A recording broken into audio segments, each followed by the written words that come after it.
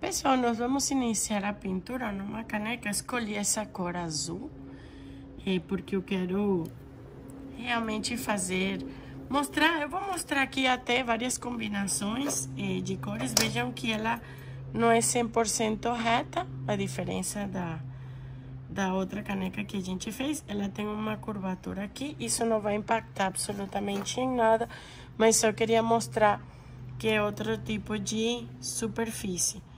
Ela tem em torno de 11, mais ou menos, 11 centímetros e meio quase é, de comprimento. E ela tem uns 8 centímetros, se, a gente vê aqui de borda para borda. Desculpem, 8 centímetros e meio de diâmetro, contando com esse espessor aqui. Não vai impactar em nada, porque realmente o que eu queria fazer aqui é um trabalho um pouco mais eh, livre, vamos dizer assim, Pode ser até criando várias mandalinhas com várias cores. Vamos ver o que, que a imaginação vai trazer aqui pra gente, né? Então, qualquer formato, qualquer cor, você pode adaptar de acordo com a sua preferência. Para pintar essa caneca, nós vamos usar apenas um palito de espetinho, bem, bem, é, vejam que ele é bem ele não é grosso, tá? E a ponta daqui é bem fininha. Então, gente, vejam. É, se a gente quiser fazer muito perfeito, dá pra pegar uma fita aqui e tal, mas não vou fazer aqui não. Eu quero realmente mais ou menos, né? Quero dar uma liberdade aqui pra cabeça, né? Então, a gente pode mais ou menos é, usar aqui e que é por essa linha mais ou menos que a gente precisa marcar. Aqui. Mais ou menos, vejam, aqui é 11,5, então isso vai dar em torno de 5.7, quase 5.8. E eu vou fazer um pontinho aqui tá? Então, é um pontinho só de, de referência. E aqui eu vou começar a minha aventura, a meu processo de criação. Então, aqui...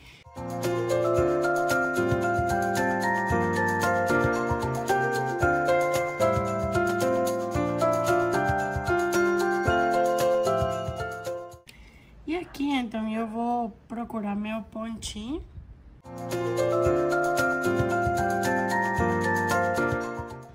Então, vamos iniciar com esse ponto central que não seja um amarelo tão, tão forte, né?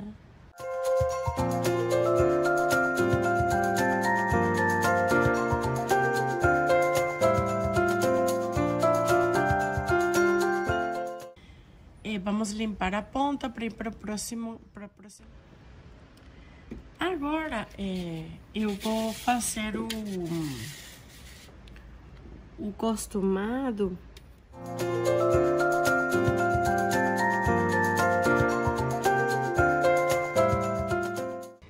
Gente, eu tô sem alfinete agora e eu vou usar a ponta aqui do, do compasso, né? Eu...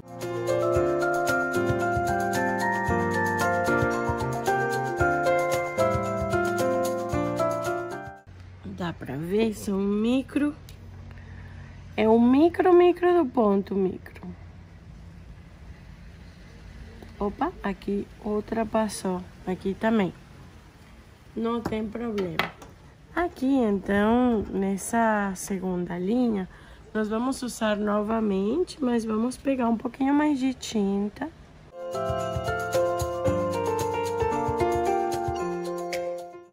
aqui já ficou bem amarelo. Pode ser que precise ajustar, por exemplo, o tamanho desse ponto, precisa dar uma ajustada.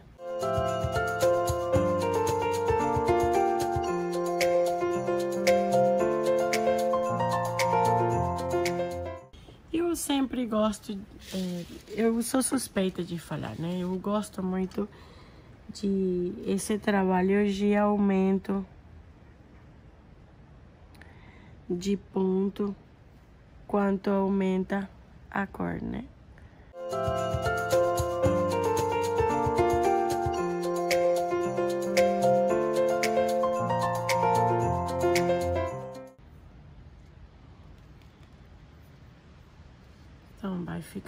Assim. Agora, eu gostaria de dar uma misturada para fazer a transição com o outro verde, né? Eu vou colocar só uma gotinha de água.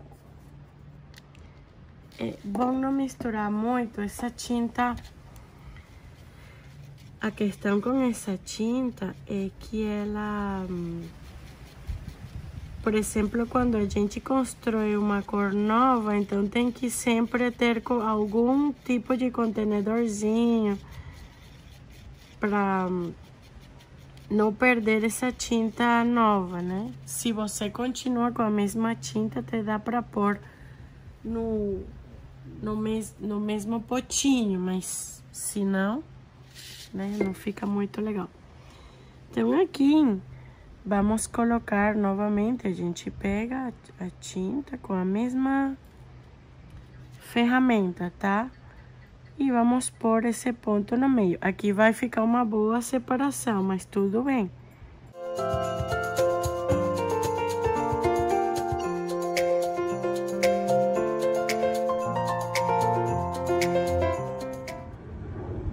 E agora, eu vou pôr sim uns pontinhos aqui pequenos com a mesma ferramenta. Qual é o segredo? Que eu coloco pouca tinta e faço pouca pressão.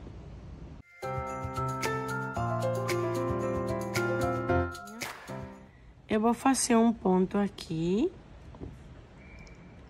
Eu vou pular esse, eu vou fazer um ponto aqui.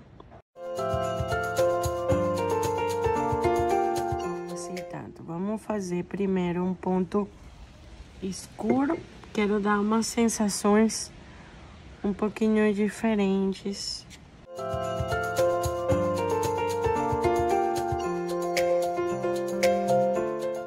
Aí o seguinte ponto, vamos fazer assim. Vou fazer do mesmo tamanho com a seguinte cor.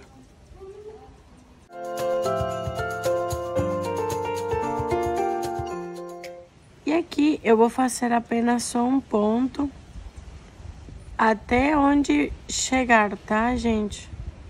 Se tem mais espaço para... Por exemplo, aqui deu para fazer dois pontos. Só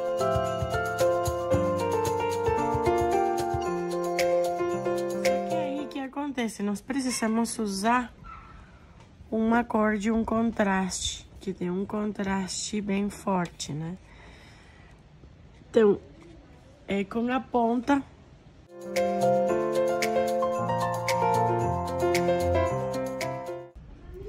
E aqui eu posso é, pegar essa parte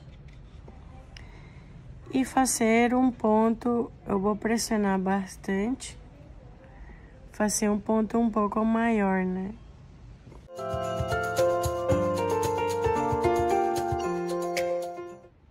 Então, vou pegar novamente aqui como se fosse manicura mesmo. Isso aqui pode ser algodão, eu prefiro guardanapo, tá?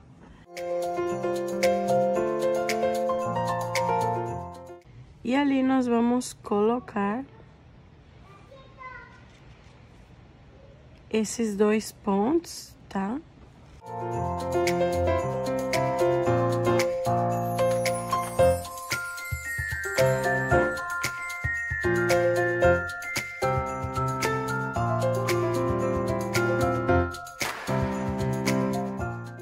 Não vou substituir, eu só quero dar um pouco de claridade.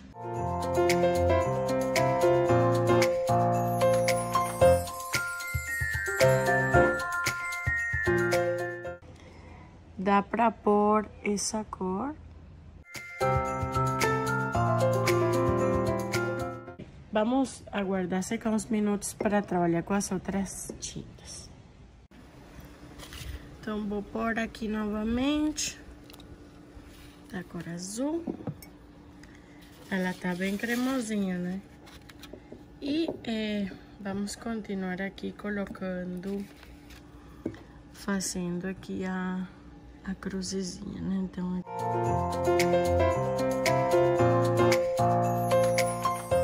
Ah, eu quero pôr um ponto aqui, azul. Quero pôr pontos aqui também.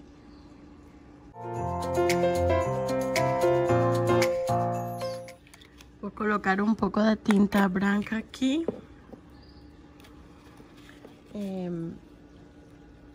E aqui eu tô com meu potinho de água, então eu apenas vou colocar um par de gotinhas.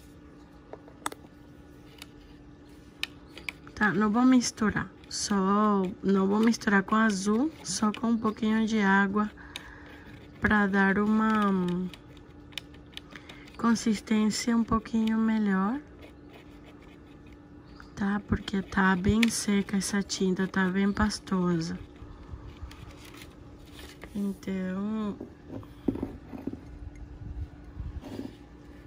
minha ideia é colocar um ponto aqui e descer, fazer o walking the dots, né?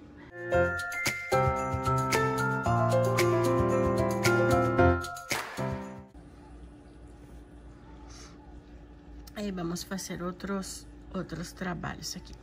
Agora vamos pegar essa cor um pouquinho mais clara.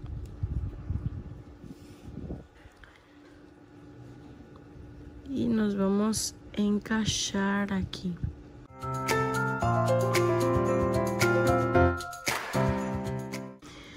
É, onde já secou, Dá pra pegar, por exemplo, a tinta secou aqui. Dá pra pôr um ponto no meio.